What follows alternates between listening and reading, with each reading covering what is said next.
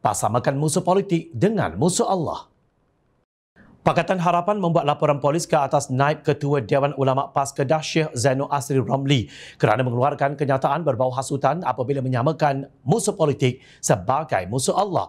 Ketua Biro Mobilisasi Pusat Media Pakatan Harapan Kapten Besar Muhammad Yahya menegaskan kenyataan Zainul Asri dalam program Himpunan Kedah berselawat di Stadium Darul Aman Alustar pada 24 Jun lalu boleh mengelirukan umat Islam dan menjurus kepada amalan takfiri. Kita serius ambil beberapa ungkapan dalam ucapan dia dalam perhimpunan tersebut mengatakan bahawa seolah-olah memohon Allah menyelamatkan negeri Kedah dan menghindarkan Kedah jatuh ke tangan musuh Allah. Apa yang kita ambil caption musuh Allah itu sebagai satu ungkapan atau doktrin baharu kepada rakyat Malaysia bahawa parti PAS PN sahaja bersama dengan Allah. Parti selain Perikatan Nasional adalah musuh Allah. Dalam konteks pilihan raya negeri akan diadakan sedikit masa lagi, ini adalah satu persekitaran yang sangat tidak sihat kepada keselamatan dan ketenteraman dan keamanan negara. Katanya dalam sidang media selepas membuat laporan polis di Balai Polis Jalan Dangwangi, Kuala Lumpur pagi kemarin. Sejak kemarin tular potongan akhir ucapan Zainul Asri dalam himpunan Kedah Berselawat yang dianjurkan oleh pejabat Menteri Besar Kedah. Allah Sayyidina Muhammad, moga-moga Allah Ta'ala mempertahankan negeri ini daripada dijatuhkan oleh musuh-musuh Allah Subhanahu wa taala dan dimenangkan agama Allah Subhanahu wa taala insya-Allah. Takbir! Takbir! Takbir! Menurut Muhammad, permainan politik PAS di Kedah menjelang pilihan raya negeri telah sampai ke tahap yang boleh merugikan rakyat dan mungkin berpotensi mengulangi peristiwa hitam memali 1985.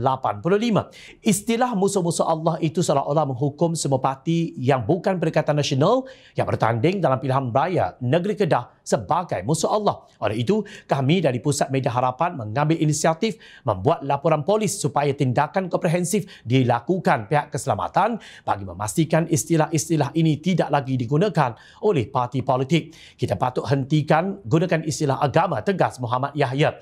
Sementara itu, bekas setiausaha Dewan Ulama PAS Pusat Datuk Dr. Khairuddin Aman Razali berkata adalah haram menggelarkan seseorang Muslim sebagai musuh Allah menegak dan memperjuangkan politik Islam adalah kewajipan setiap Muslim. Perkara ini tiada khilaf dan pertikaian. Tinggal lagi, adakah wajib memperjuangkan politik Islam menerusi organisasi parti? Jawapannya tidak. Setiap orang boleh memperjuangkannya secara individu dan juga menerusi organisasi meskipun berorganisasi itu adalah cara terbaik katanya dalam satu kenyataan di Facebook.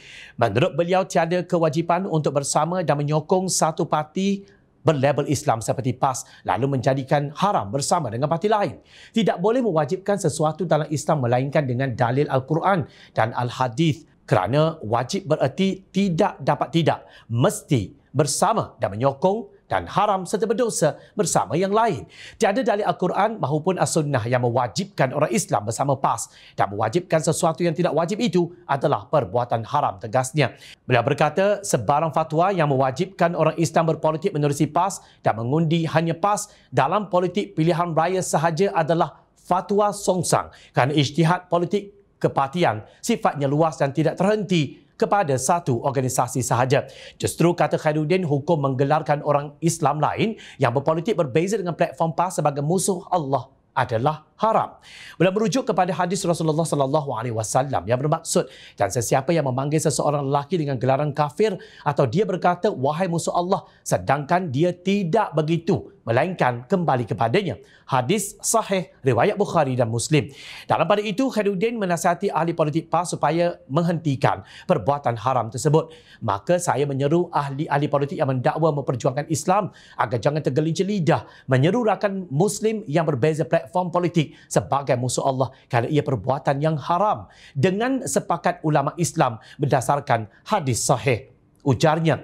Harudin menambah bahawa hadis berkenaan dimasukkan oleh Imam Nawawi dalam Riyad Salihin pada bab haram menyebut kepada orang Islam wahai kafir. Bagaimanapun sejak pilihan raya umum ke-15, Jom China tidak nampak pemimpin PAS peduli tentang laporan polis. Mereka terus juga mengulangi perbuatan mentakfiri sesama Islam kerana setakat ini tidak seorang pun dalam kalangan pemimpin mereka yang didakwa di mahkamah kerana menghasut amat mengherankan mengapakah pihak yang berkuasa terlalu lunak kepada pemimpin PAS sedangkan mereka semakin lama semakin berani mencabar undang-undang negara. Malah hari ini walaun begitu rancak di media sosial dengan kenyataan bahawa mereka membuat laporan polis itu musuh Islam. Adakah kita menunggu negara kita menjadi huru hara kerana perang saudara seperti Sudan baru mahu bertindak? Wahai penguat kuasa, kalian dibayar oleh wang pembayar cukai untuk menjaga keselamatan rakyat dan pertahanan negara. Ingat rakyat memerhati.